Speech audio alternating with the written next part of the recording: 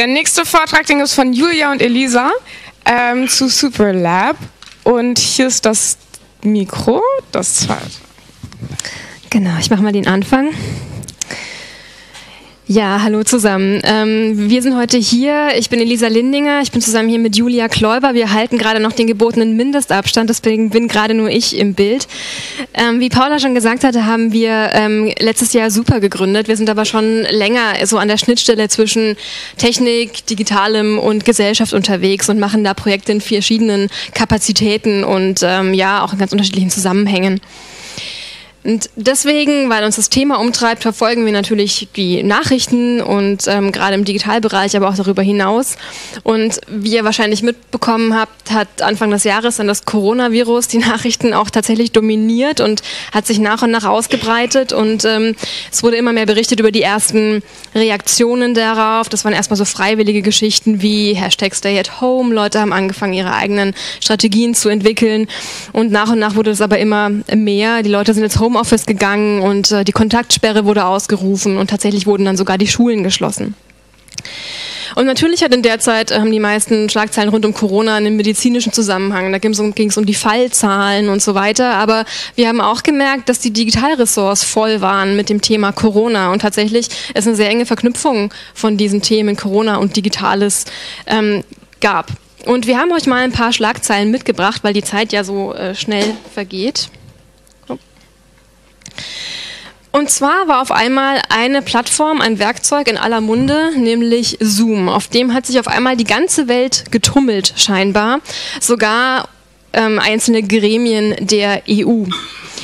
Das ist deswegen in die Schlagzeilen geraten, weil Zoom vorher vor allem durch ähm, technische Unsicherheiten von sich reden gemacht hat und dass sogar EU-Gremien, so große Institutionen, die tatsächlich viele Ressourcen zur Verfügung haben, auf einmal auf solche Tools umsteigen, zeigt eine Sache, nämlich wie schlecht wir auf diese Krise und die veränderten Voraussetzungen vorbereitet waren. Dass sogar so eine Kleinigkeit wie, hey, unsere Meetings, die ohnehin jede Woche stattfinden, müssen auf einmal digital stattfinden und ähm, nicht mehr analog im Meetingraum.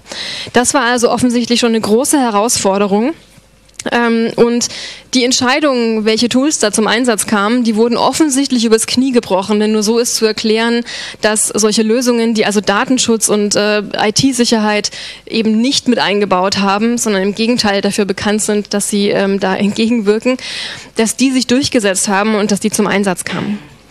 Zoom kam danach direkt nochmal in die Schlagzeilen. Ähm, die mussten nämlich zugeben, dass ein Teil ihrer Meetings über Server in China geroutet hat, wo es zu vermuten ist, dass die Regierung da direkt darauf zugreifen kann. Wollen wir hoffen, dass das Meeting der Eurogruppe nicht davor eins davon war. Mm, bei anderen war die Wahl der richtigen Plattform für die Videokommunikation eher schon ein Luxusproblem, zum Beispiel bei der Berliner Verwaltung. Ähm, die haben versucht, ihre Mitarbeiterinnen und Mitarbeiter auch ins Homeoffice zu schicken, da wo es möglich ist. Ähm, tatsächlich gab es für die rund 100.000 Mitarbeiterinnen und Mitarbeiter aber nur 4.000 Zugänge ins äh, Intranet. Und das macht, wenn man es nachrechnet, ähm, nicht annähernd die Hälfte aus, im Gegenteil sind 4 Prozent. Ähm, also auch hier wurden Chancen vergeben. Es war keine Infrastruktur vorhanden, wie die ähm, Arbeit einfach ins Digitale verlegt werden kann, obwohl eigentlich die Voraussetzungen dafür gar nicht so schlecht waren am Anfang. Also jetzt muss ich hier. Genau. Ein weiteres Beispiel ist ähm, Dienstleistung im Allgemeinen. Und Davon lassen sich natürlich viele wie Haare schneiden nicht unbedingt ins Digitale übertragen, andere dagegen schon und die sind sogar essentiell. Zum Beispiel medizinische Sprechstunden und noch viel wichtiger Therapiegespräche.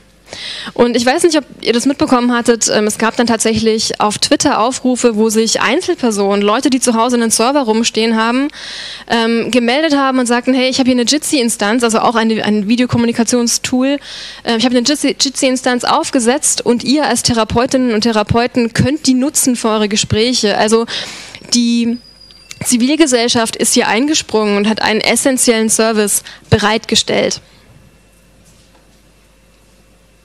Und das haben wahrscheinlich wirklich alle mitbekommen inzwischen. Ähm, durch die Schulschließungen spitzt sich bei uns gerade die Bildungsungerechtigkeit weiter zu. Wir haben die absurde Situation, dass ähm, Schülerinnen und Schüler also ganz unterschiedliche Anforderungen zu Hause erfüllen müssen, um dem Unterricht irgendwie folgen zu können. Das ähm, fängt an bei sowas wie, sie brauchen eine Drucker- und Scanner-Kombination und müssen täglich das PDF ausdrucken und dann ausgefüllt wieder einscannen und äh, an die Lehrerinnen und Lehrer schicken, ähm, bis hin zu nicht nur die Eltern oder Erziehenden sind in Videocalls wegen ihrer Arbeit, sondern jedes einzelne Kind braucht auch noch einen Rechner, an dem es an den Klassencalls teilnimmt und am besten natürlich dann auch noch ein eigenes Zimmer, denn äh, ansonsten kommt man sich tontechnisch in die Quere.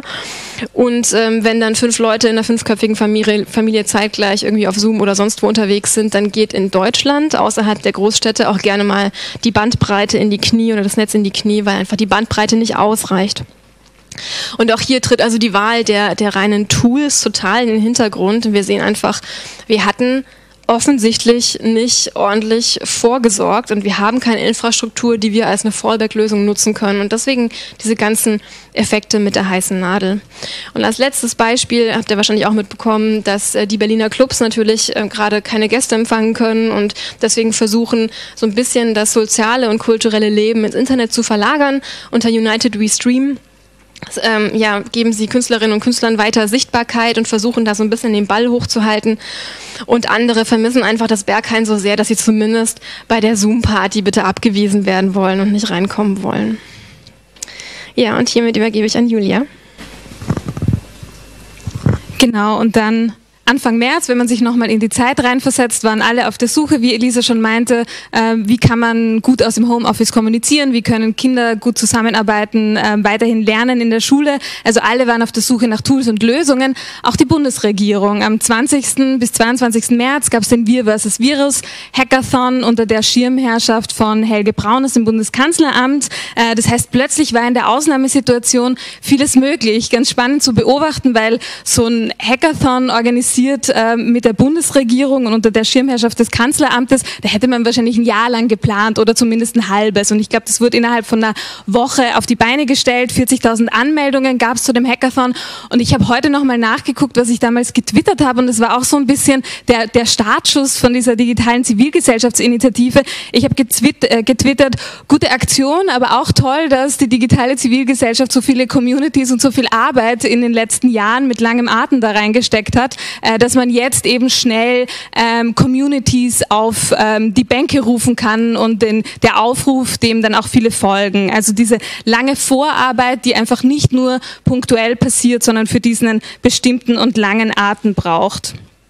Und so kamen wir irgendwie auch drauf, wir haben gesehen, so okay, diese Ausnahmesituation, die macht so ein paar neue Dinge möglich und eigentlich ist es jetzt auch an der Zeit zu sagen, wie wichtig und wie essentiell und wie systemkritisch die digitale Zivilgesellschaft ist. Und äh, so kamen wir drauf, Empfehlungen zu entwickeln. Und um ehrlich zu sein, diese Prozesse, für die lieb ich so, die Zivilgesellschaft und die Organisationen. Man setzt sich hin, man überlegt sich was, man spricht mit unterschiedlichen Leuten, äh, unter anderem auch mit Leuten vom Prototype Fund, setzt einfach mal ein Etherpad auf und dann kommen da ganz viele dazu und schreiben mit. Und so war es auch da. Ähm, man hätte da wahrscheinlich 15 Empfehlungen draus machen können, aber es ist auch klar, dass man will, dass sowas kurz und knackig ist, dass es eingängig ist, dass sich Leute das auch wirklich durchlesen. Ähm, das heißt, in mehreren Abenden mit vielen Ehrenamtlichen wurden dann diese Empfehlungen gestrickt. Äh, die Erstunterzeichner haben da ganz fleißig mitgeschrieben. Und ein paar der Empfehlungen will ich euch jetzt vorstellen, beziehungsweise wir stellen euch alle vor.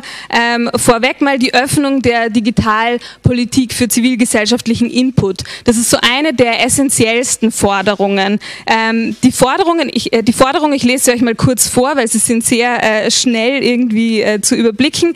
Digital Digitalpolitik, die das Gemeinwohl ins Zentrum stellt, lässt sich nur gemeinsam mit gesellschaftlichen Akteurinnen und Akteuren und Initiativen verwirklichen. Hierfür muss sich die Politik noch weiter für Vorschläge aus der Gesellschaft öffnen und diese in die Gestaltung einbeziehen. Und sie muss vor allem auch die Expertise anerkennen. anerkennen. Wenn man sich jetzt so Gremien anguckt, wie zum Beispiel den Digitalrat der Bundesregierung, dann fällt einem schnell auf, da fehlt die Zivilgesellschaft. Also da steht auch explizit auf der ähm, Website, es ist ein Rat, der aus unabhängigen Expertinnen und Experten aus dem Bereich Wissenschaft, Forschung und Wirtschaft zusammengesetzt ist. Und auch wenn man sich zum Beispiel die Enquete-Kommission, die zu künstlicher ähm, Intelligenz tagt, äh, ansieht, da sind zivilgesellschaftliche Organisationen vertreten, aber auch nur so zwei, drei. Auf europäischer Ebene ähm, die High-Level Stakeholder Group, da ist es, glaube ich, nur eine, nämlich Access Now.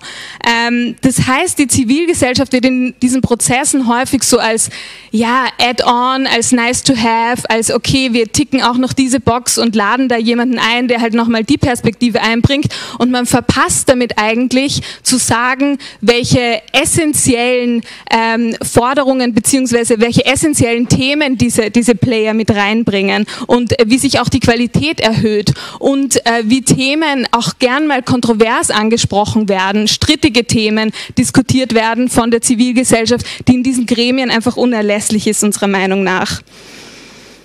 Und äh, was auch ein weiterer Punkt ist, also häufig äh, sieht man ja an Forschung in den USA, gerade wenn es um neue Technologien geht, dann sind es marginalisierte Gruppen, die da diejenigen sind, die an der vordersten Front stehen, die als Erste eben mitbekommen, wenn, ähm, wenn was nicht so funktioniert, wie es funktionieren soll und wenn ihre Rechte eingeschränkt werden.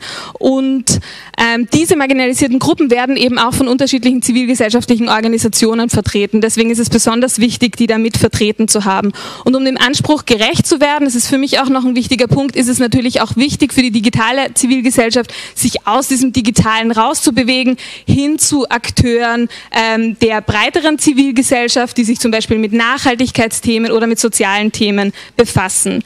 So viel zum ersten Punkt. Und wir haben es ja auch gerade schon gehört, warum ist es so wichtig, diese Zivilgesellschaft einzubinden, zeigt auch der äh, äh, Corona Contract, äh, Contact Tracing App Fall.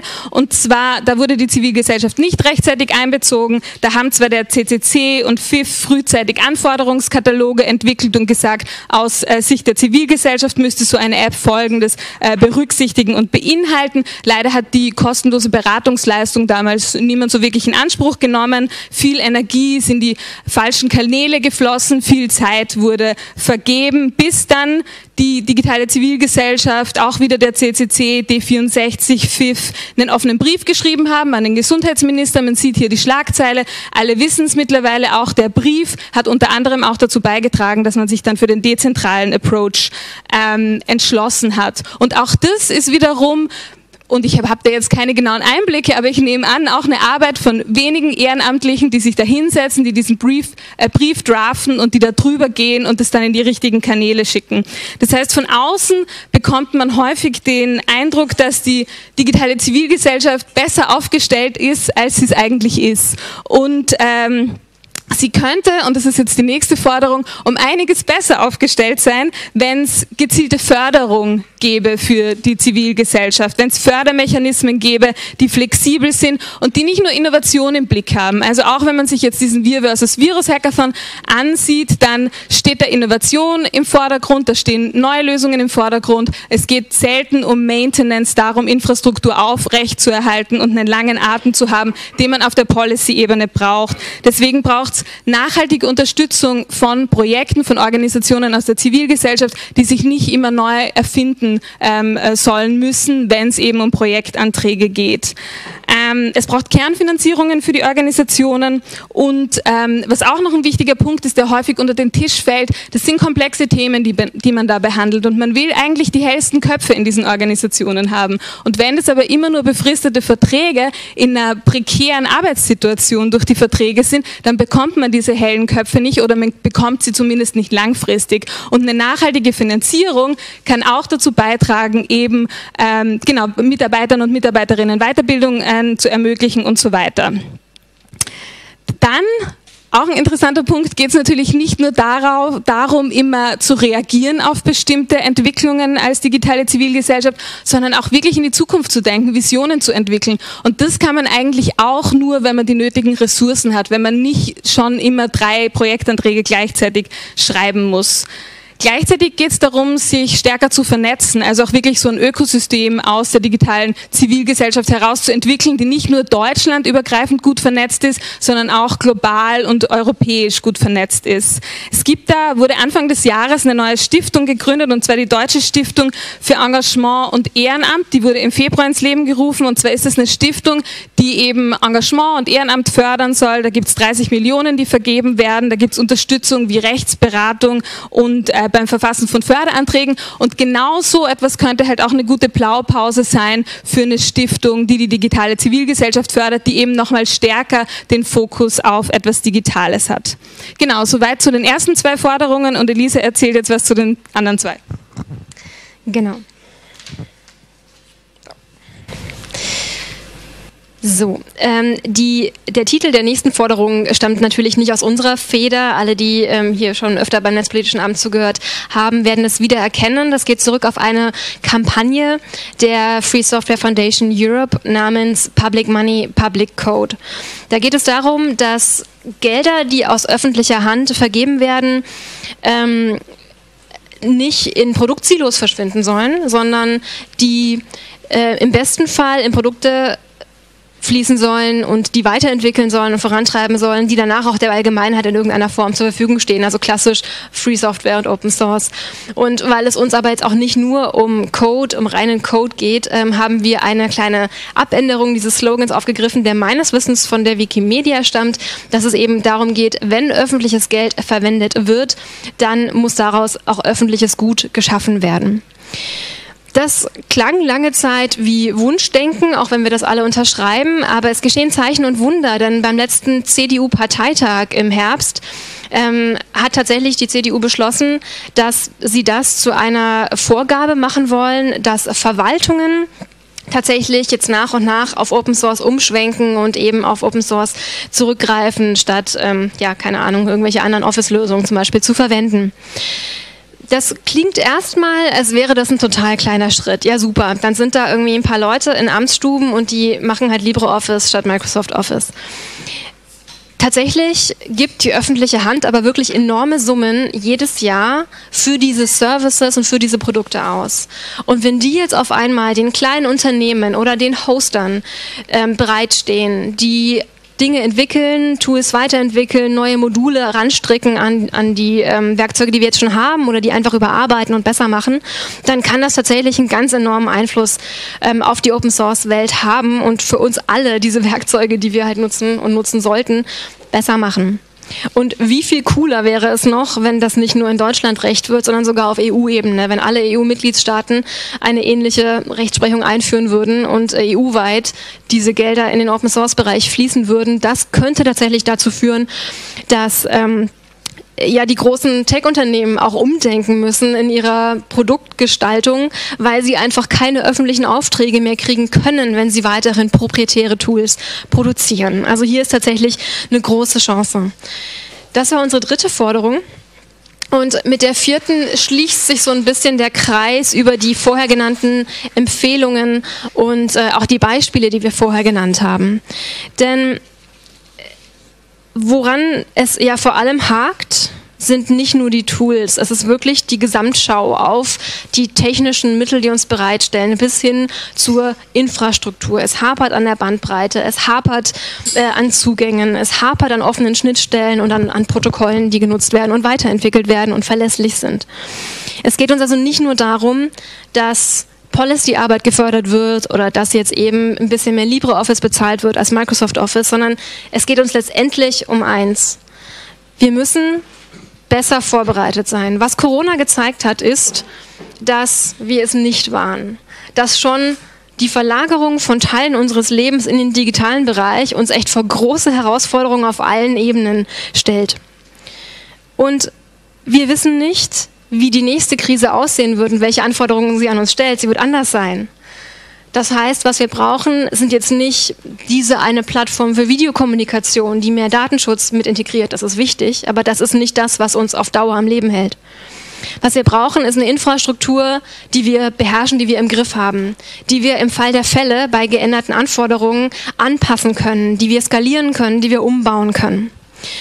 Das heißt, wir brauchen letztendlich eine Infrastruktur in diesem Land, die dem Gemeinwohl dient, die den Schulkindern gleichermaßen dient wie den kleinen Unternehmen. Das ist mehr als eine Innovationsförderung. Julia hat das schon gesagt. Wir brauchen Maintenance. Wir brauchen äh, ja, bezahlte Wartungsarbeiten an den Protokollen, Weiterentwicklung von Protokollen, Kommunikation darüber, wie man bestimmte Technologien weiterentwickeln will. Gerade werden viele von sehr grundlegenden Internetdiensten von Freiwilligen gewartet und alle, die im Open Source Bereich sind, hinterfragen das oft gar nicht, denn so war es ja irgendwie schon immer. Die Leute an den Unis haben das gemacht. Wenn wir das mal übertragen auf andere Infrastrukturbereiche und uns vorstellen, dass unser Straßennetz oder unsere Wasserversorgung von Freiwilligen in ihrer Freizeit gewartet würde, würde uns ziemlich schnell klar werden, dass das nicht krisensicher ist. Und deswegen haben wir unsere letzte Forderung aufgestellt. Wir brauchen ein öffentliches Commitment für die Entwicklung einer digitalen Infrastruktur im Interesse der Öffentlichkeit, also für das Gemeinwohl. Und nur damit das klar ist, weil man ja nie weiß, wie andere das so verstehen, damit meinen wir nicht eine Kopfgeburt wie die nächste DE-Mail. Wir meinen auch nicht ein Schlandnetz, sondern wir meinen, dass es ein Commitment braucht, existierende Projekte, jetzt schon stattfindendes Ehrenamt, tatsächlich mal anzuerkennen, auf eine gewisse Art und Weise auch zu entlohnen, zu fördern und einfach einen gesellschaftlichen Diskurs darüber abzuhalten, welche Technologien wir brauchen, damit wir als Gesellschaft überhaupt funktionsfähig sind. Und damit kommen wir auch ähm, schon fast zum Schluss. Genau, Sie hier sind ein paar Vereine, die ähm, Organisationen, die mitgezeichnet haben. Die DigiGuess natürlich, Digitale Gesellschaft, FIF hat mitgezeichnet, ähm, Chaos Computer Club, ähm, die äh, Free Software Foundation Europe. Und was uns aber besonders freut, also wir kriegen jeden Tag wieder weitere Nachrichten. Ich glaube, es sind mittlerweile 50 äh, Unterzeichnende und es sind Bibliotheken drunter. Es sind mittlerweile auch Schulen drunter, die uns anschreiben, die natürlich genau äh, nicken, wenn sie sehen, ja, uns fehlt es an Infrastruktur, wir wollen ähm, Empfehlungen haben, wir wollen Tools haben, die ähm, datenschutzfreundlich äh, sind und die wir einfach guten Gewissens verwenden können für unsere Schüler und im Homeoffice. Also es gibt eine ganze Reihe an Unterzeichnenden und die Liste wird laufend ausgebaut. Der Text ist auf Englisch übersetzt worden, mittlerweile auch auf Französisch, es muss noch auf die Webseite, aber ja, Organisationen, die jetzt zuschauen, die sind herzlich eingeladen, da mitzuzeichnen und worum es uns, glaube ich, auch geht, ist zu sagen, dass das ist eigentlich erst der Anfang. Also diese vier Empfehlungen, die wir da in den, in den paar wenigen Tagen geschrieben haben, die sind, die sind eigentlich ein Startschuss für, für was längerfristiges. Nämlich muss man sich jetzt in den nächsten Monaten überlegen, welche Beispiele kann man, mit welchen Beispielen kann man das noch untermauern, welche Fälle gab es auch in letzter Zeit, also Corona-App ist nur einer, ähm, die, auf die man verweisen kann, wenn man genau über diese Empfehlungen spricht. Und ich glaube, darum wird es jetzt gehen, diese ganze Seite auszubauen, diese Empfehlungen auszubauen und nochmal zu untermauern und laufend an die Politik zu tragen. Also das einmal zu versenden, ähm, ja, bringt noch nicht so viel wahrscheinlich, aber da laufend dran zu erinnern und eine Anlaufstelle zu haben und das gemeinsam weiterzuentwickeln, dann vielleicht schon. Genau, und das ist letztendlich auch schon der Abschluss. Ähm, wie geht es damit weiter? Das, das kann nur der Startschuss gewesen sein. Wir sind darauf angewiesen, dass wir alle, die ja in ganz unterschiedlichen Bereichen aktiv sind, ähm, dass wir uns diese Forderungen zunutze machen, dass wir uns Einzelteile daraus herausgreifen, für die wir besonders glaubwürdig einstehen können. Und ja, dass wir vehement und laut fordern und nicht nach dem Ende von Corona, das hoffentlich, hoffentlich irgendwann kommt, ähm, dass wir dann ähm, ja, zurück zum Status quo gehen und uns nicht dafür einsetzen, dass diese Infrastruktur endlich geschaffen wird. Dass das jetzt nicht passiert, wenn gerade das Haus brennt, dann ist das, das ist klar. Ähm, aber tatsächlich, die Zeit wird kommen, wo es ruhiger ist, wo wir mehr Ressourcen darauf verwenden können, da wirklich vorausschauend, wie Julia schon gesagt hat, mit ein bisschen Vision, mit ein bisschen tatsächlich auch Geisteskraft ähm, zu entwickeln, wie denn sowas überhaupt funktionieren kann. Ähm, ja, da auf die Zeit freue ich mich persönlich und äh, ich hoffe, ihr seid alle mit dabei.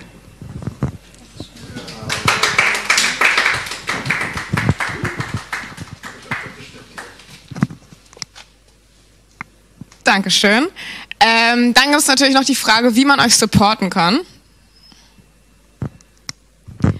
Indem man eben sich diese Empfehlungen zu eigen macht, indem man Leute darauf hinweist, indem man Organisationen, Schulen, die man kennt, äh, einlädt zu zeichnen. Also momentan ist die Unterstützung noch sehr äh, niedrigschwellig, ja, indem man sich einbringt, indem man uns auch gerne anschreibt und nochmal Dinge übersetzt oder in Kreise spielt, in die sie vielleicht noch nicht gekommen sind. Ja. Nur um einen Gedanken noch zu ergänzen. Ich habe vorhin Schlandnetz gesagt und natürlich operieren wir gerade total innerhalb der deutschsprachigen Regionen. Und ich glaube, um das Ganze auch wirklich weiter voranzutreiben, brauchen wir da mehr EU-Politik und mehr EU-Stimmungsmache. Und ich glaube, da müssen wir alle ein bisschen lauter werden und uns noch ein bisschen mehr vernetzen mit ähm, Organisationen aus dem Bereich, die in anderen Ländern was ganz Ähnliches machen, die wir gerade nur gar nicht wahrnehmen, weil einfach Sprachbarrieren dazwischen sind. Ich glaube, das ist was, wo Organisationen, die einfach nochmal über andere Kontakte verfügen als wir, richtig, richtig viel leisten könnten. Alles klar. Dann vielen Dank an euch.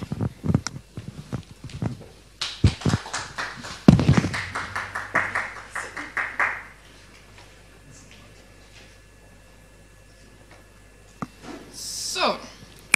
Und das war es dann auch schon mit diesem netzpolitischen Abend. Der nächste, der 94. netzpolitische Abend, der findet am 2.6. statt und wahrscheinlich wieder live, also schickt, äh, klickt euch fleißig rein. Vielen Dank an alle, die mitgemacht haben und natürlich auch an die Seabase, die fleißig mitgearbeitet habt und einen schönen Abend an euch alle.